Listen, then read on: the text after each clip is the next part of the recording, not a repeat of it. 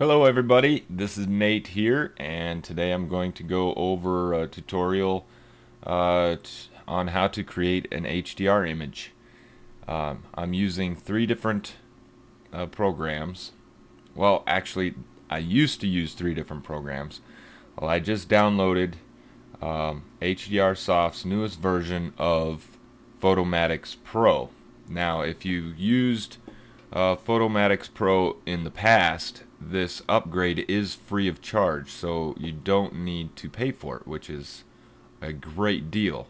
Now also, I've downloaded Lightroom, uh, an export plugin, and this is great because I use Lightroom exclusively for developing all my images.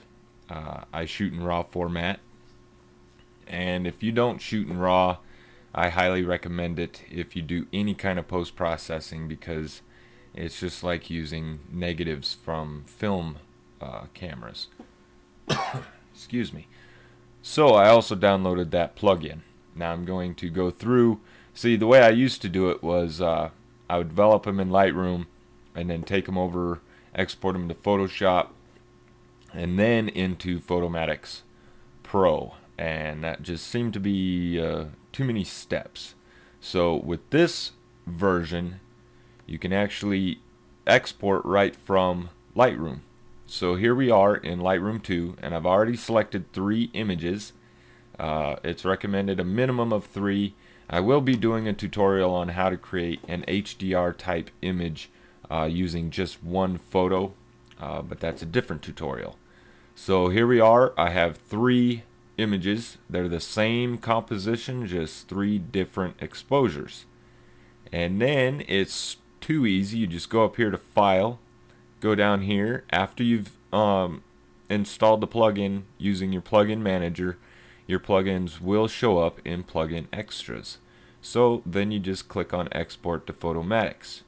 Now it says you're about ready to export to Photomatix Pro with standard settings, and this is a 16-bit TIFF uh, with the Adobe RGB color space. Now this is fine. You can just hit export. If you don't want this, you can hit cancel and then go in and change your uh, settings. So I'm just going to hit uh, export and you can see the status bar up here um, is working. Now depending on how many images you have, this could take quite a while. Uh, since I'm only using three, you can see it's it's moving pretty pretty fast here. Uh, it's going to be working on that third photo now. There we go. And since I just did this, I am going to open Photomatix Pro. And, well, see, I have the license for it. So I'll just continue with that. Uh, we'll generate an HDR image.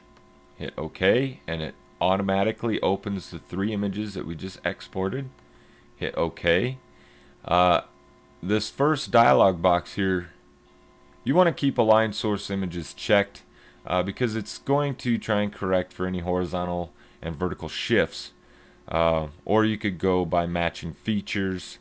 Um, I just leave that unchecked. You can select uh, reduce chromatic aberrations and that's due to your lens of your camera, reduce noise, attempt to reduce ghosting artifacts, and then uh, all the tonal curve uh, profiles down here.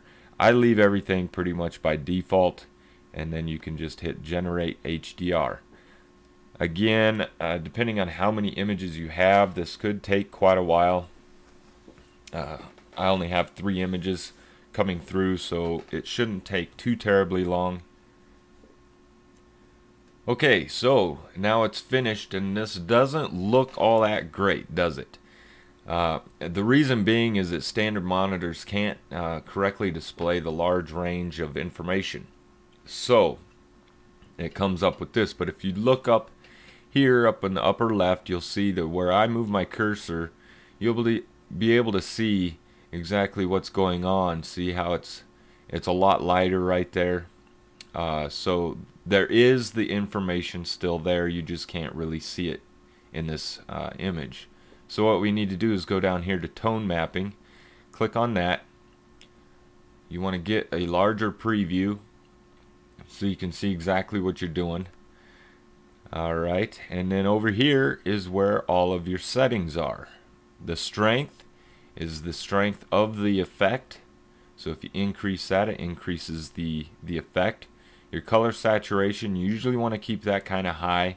Uh, depending on what kind of image you're going for, what kind of result, uh, you can blow out everything and make it look like a complete mess.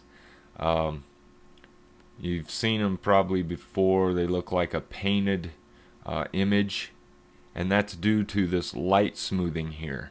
The higher the light smoothing, the more realistic your uh, image is going to look. So if I'm on very high, that smooths the light uh, quite a bit. Now if I go way down here and pretty much just shut it off, you can see the effect. It's just, that's not exactly what I'm looking for. So again, it depends on uh, the result that you're looking for. Sometimes it's okay to keep them right around in here in these in the three uh, selections right here. I'll keep that one right there. Uh, now down here in tone settings, this is where you can set your white point, black point, and your gamma. It's a lot like using the curves uh, dialog or levels dialog in Photoshop. Uh, the more white or the the farther to the right I move that slider, the more white is going to show up. And you can see my histogram here, it's shifted to the right. So if I bring that back down, you'll see that shift uh, back to the left. The black point, black point, excuse me, I want to bring that one up quite a bit because it does look a little blown out. Now you can see the effect really starting to pop through now. Uh, one of the, the cool things about this new version of Photomatix Pro is that when you're sliding your your sliders, you can actually see the numbers move. The old version, uh, you would slide the slider.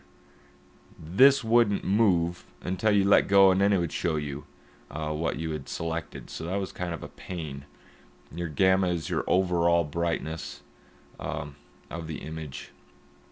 Alright, so that's not looking too bad here. I can have some details up here in the sky and the clouds and then also down here in the in the shadowed areas. Now on to the next uh, selection here is the color settings. Uh, you can change the temperature of your image, uh, bring it way down for a cooler effect, or you can increase it all the way to the right and you get a lot warmer effect depending on what you're looking for. I'll keep mine right around there. Saturation highlights, it's exactly what it what it means. Um, and if you hover your mouse over each of these sliders, it gives you a little info dialog right here so that you know exactly what each of these uh, sliders does. This one adjusts color saturation of the highlights. Alright, so if you increase the saturation of the highlights, now that's maybe a little difficult to see, so I'll increase it all the way, take a good mental picture of that, and then I'll slide it all the way down. Alright, so you can see the sky is pretty much gone. Desaturated sky. And then the same with your saturation of the shadows.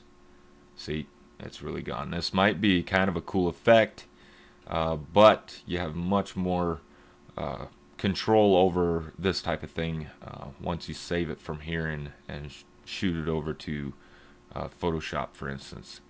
Smoothing settings, micro smoothing the more smoothing you have, the less of the effect. See, it's almost like a uh, surface blur. It really smooths out the image. Now, if you take it down to zero, that's very little smoothing. You get a lot of noise, a lot of grain. Uh, that may might be what you're looking for. I'll keep mine right around two, uh, where it was. Highlight smoothing. You really smooth out the sky and the and the highlights. Uh, we'll take that back down to zero. That didn't look good at all. Okay, so those are pretty much all the settings. Um, again, just play around with them. You never know what, what you're going to get. I would stay away from the tone compressor. Um, I don't usually mess with this. It doesn't give you as many options or as much control over uh, your image like Details Enhancer does. So leave it with the Details Enhancer. You can go over here and, and play with it for a while. Uh, but if you want the most control, stay over here under details. Um, you can also come back up here and be able to see the original um, image that you had and then the preview. So that's not too not too bad. So then all you have to do is hit process and it will process your your uh, image. It keeps the same file name but then just adds tone mapped to the end. So that's a good way to keep track of which images you have already done. I have already uh, established a, a, folder hierarchy, if you will, on my desktop. Uh, so I know where to save these. Now with the preview, or I'm sorry, with the um, demo version, you're going to get these watermarks here, Photomatix, Photomatix, Photomatix. Uh, I do have a registered copy. I just haven't uh, re-entered the uh, license key for it, uh, but that's no no big deal. I can do that.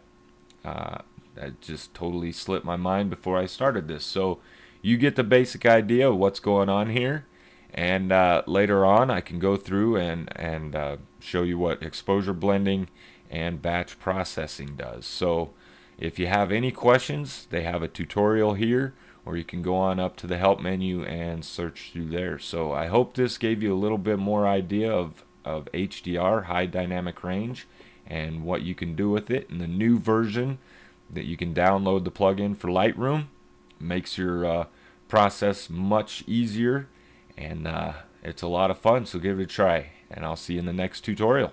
Bye.